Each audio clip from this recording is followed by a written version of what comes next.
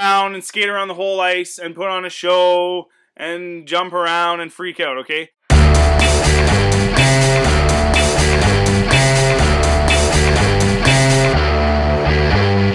Something's wrong cause my mind is fading And everywhere I look there's a dead end waiting. Temperatures dropping at the rotten oasis. Stealing kisses from the leprous faces All right, this is your Hockey Fans Mail. Thursday, March 5th, post deadline edition. Nothing overly spectacular to talk about, but uh, certainly lots to talk about. Start off with the Canadian team, start with Ottawa. And uh, I got to say, I really got to like their trade for Pascal Leclerc, for Antoine Vermette. I really like the fact that Ottawa didn't have to give up a ton for him. The market for goalies was pretty good. And he is a bona fide number one. He played well last year. And anyone who knows anything about goaltending knows the goalies simply do not play well in injury years. It almost never happens. It's very rare. Uh, the elite of the elite, uh, guys like Brodeur, guys like that can do it. But most goalies, they just don't have the greatest years, especially younger goalies when they get injured. But great pickup by Ottawa. Very smart little pickup. Next on the list, uh, we'll go west to the Calgary Flames. And uh, first, I want to talk about the uh, trade for Jordan Leopold. Uh, bringing back a depth defenseman uh, for the playoffs is uh, probably a good idea because this year they do have a possible shot at this. I don't know that Leopold's going to make a huge difference, but if a guy gets injured or, or, what have you, you do have the depth. So, of course, they picked up uh, Olli Jokinen. I don't mind this trade because Jokinen is not the number one guy and because he's playing under Mike Keenan and he's proven that he does play well under him. I don't care that he hasn't played a playoff game. I don't think that necessarily matters because again, it's not on his shoulders. He is the the third string, fourth, fifth string in terms of leadership or or, or whatever ice time. The teams around them didn't add anything. So this brings them up maybe to their levels. The team that has all Canadians, their entire roster, other than now Leopold, Olli Jokinen, and Miikka Kiprusoff. Every other guy on their roster is from Canada. They have more Canadians than any NHL team this season. And uh, if you're looking for a bandwagon to jump on and you're a Canadian, not just because of where they are in the standings, but also because of the fact that they're full of Canadians, I guess if you're looking for a team to cheer for, you could argue Canada's team going into the playoffs this year. The Leafs picked up Gerber. Uh, obviously, Toskala's got to get surgery if he's if his groin and hip are that bad. Uh, you got to do it. I totally like it. Uh, as long as Gerber's not around next year, I have no problem whatsoever with this uh, pickup just to get through. Uh, I like the idea that you do try to win as many games as you can. And I mean, they did just raise ticket prices, so you better try to win as many games as you can. You know, he'll play probably 10 or 15 games to end the year, and that'll be the end of it. No big deal. And uh, the Leafs dished uh, Nikki Antropov to the Rangers. They got a second round pick and a conditional pick in, uh, in 2010. I would like to see the Leafs re sign Antropov in July. I know he likes it. I know he's a Canadian citizen. He's got a good attitude, and he's good now. I mean, yeah, he, he had his years where he underachieved, but he's good now. And under Ron Wilson, he, he, he'll do just fine and he'll thrive. I would like to see them re-sign him, but not. I, I, think for me, the maximum would be three million a season. But outside of that, even if they don't, I do like this trade. You got to pick up picks, and uh, that's what the guy's worth. They also dished off Dominic Moore to the Buffalo Sabres for a second round pick. Yeah, I like Dominic Moore, and I, I kind of was hoping the Leafs would keep him because of the chemistry with Blake.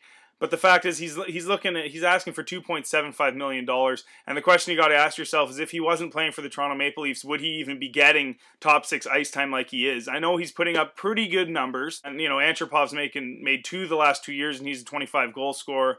And uh, Hagman got uh, 28 goals or whatever he got last year, and he's making three. So I don't see how you can pay, pay more, really more than two a year. And a two a year, I'd take more.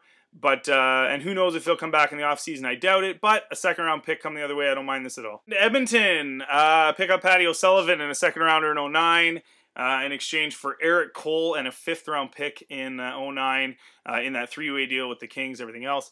I really like this deal. I like Patrick O'Sullivan. Erik Cole is getting older. Erik Cole's had some injuries. Erik Cole is comfortable in Carolina. I think this works out okay for them too.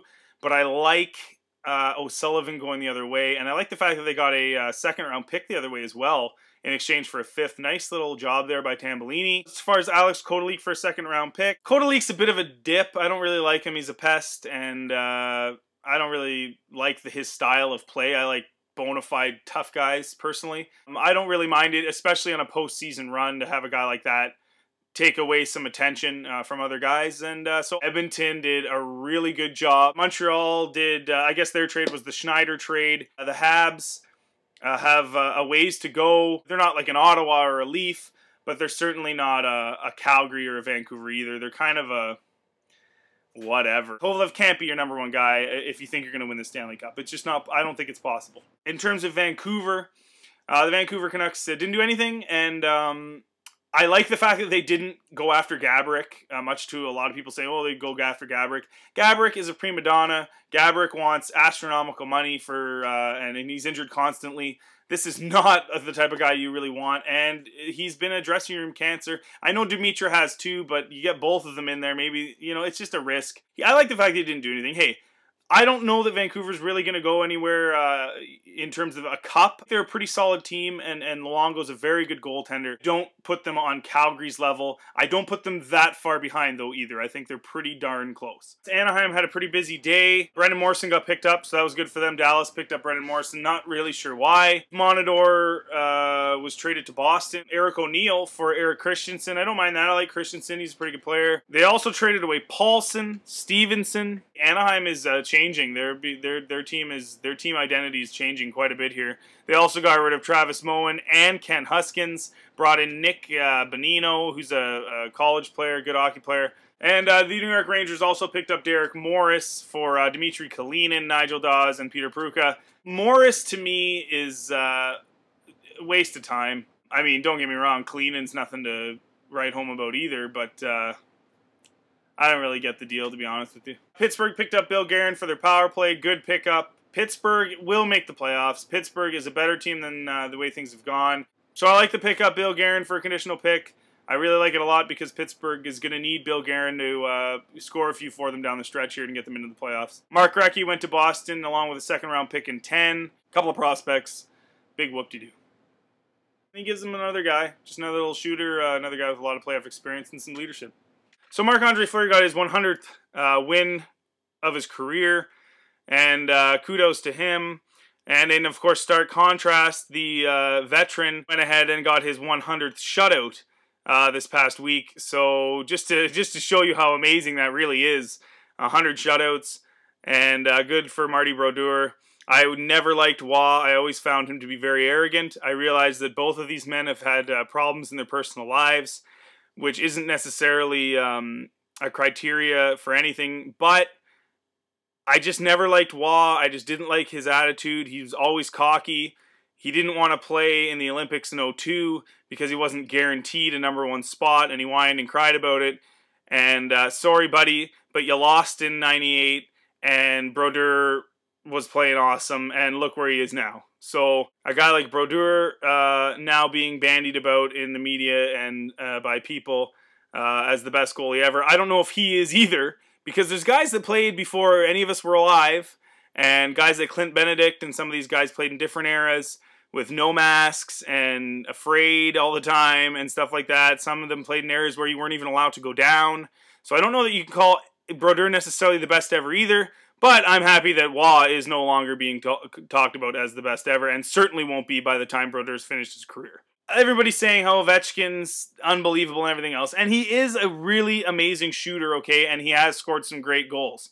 But I want everybody to realize Bobby Orr was scoring goals like Ovechkin is 40 years ago.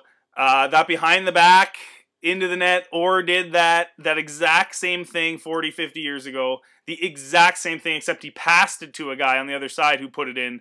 It's it's not that Ovechkin shouldn't get excited okay? It's not that he's a jerk because he, he he's happy he scores. When a guy goes like this you can see he's happy he scores. Uh, you don't need to dive and do a slip and slide Okay? You don't need to run around and skate around the whole ice and put on a show and jump around and freak out, okay? Once in a while, you know what, it would be okay. Honestly, a lot of people wouldn't mind it if it was once in a while, if it was a huge goal, really important game. I wouldn't mind it, okay? But when you're doing it all the time, and if I see Alexander Ovechkin jump around and bang the glass after he taps in a two footer on a five on three, I'm going to slit my throat. Hockey fans mail for today. Have a good one. See you next week.